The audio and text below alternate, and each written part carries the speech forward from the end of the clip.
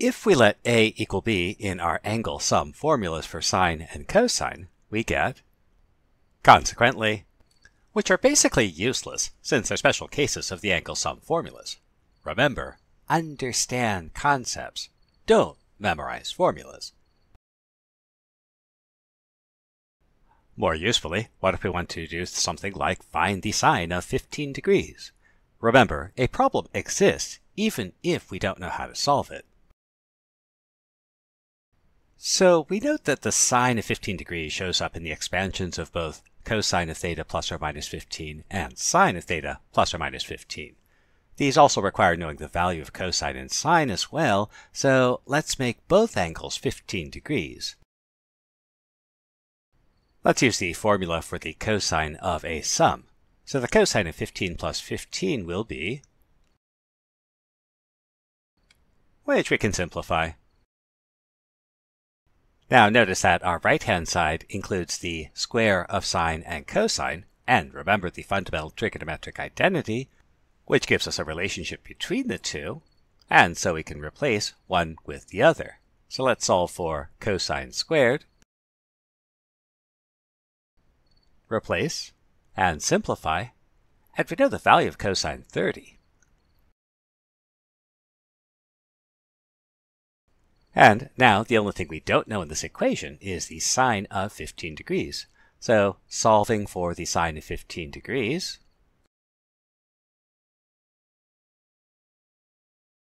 and because we're taking a square root, we will have to choose which square root we want.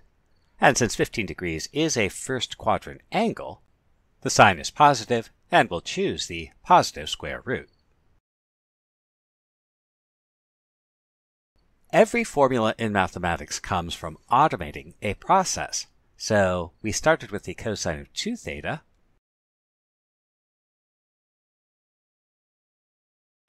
We used our Pythagorean identity to solve for cosine squared and replace.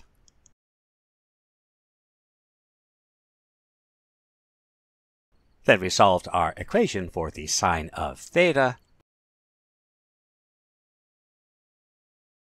and we had to decide which square root to use. One of the secrets for success in life and in mathematics is ask what happens if.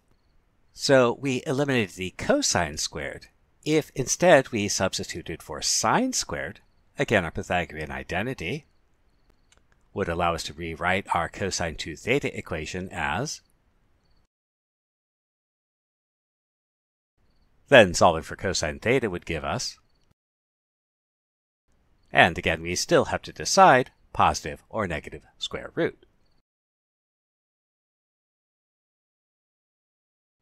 And putting our results together give us the half angle formulas.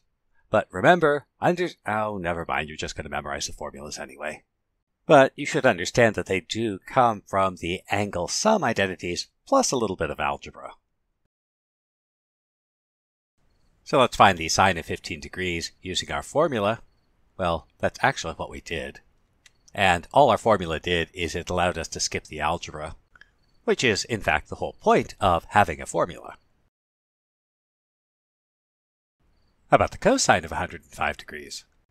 And we know we've already found this twice using the cosine of a sum as 60 plus 45, and the cosine of a difference using 135 minus 30, and we got an answer. Let's use the half angle formula and see if we get the same result. So we'll drop it into our formula. Now, the reason this works is that 2 times 105 is 210 degrees, and we know the cosine of 210. And since 105 degrees is an angle in the second quadrant, cosine of 105 is negative, and so we conclude, uh-oh, that's a different result. But if we compute the values, we do find that the two wildly different expressions do represent the same number, so we do get the same answer.